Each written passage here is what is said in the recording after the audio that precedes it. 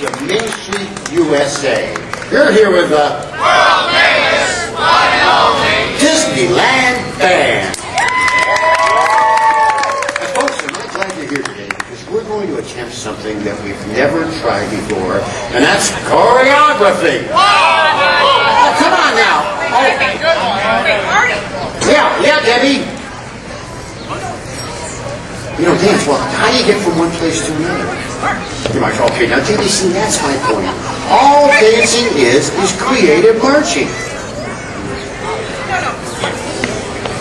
Yeah.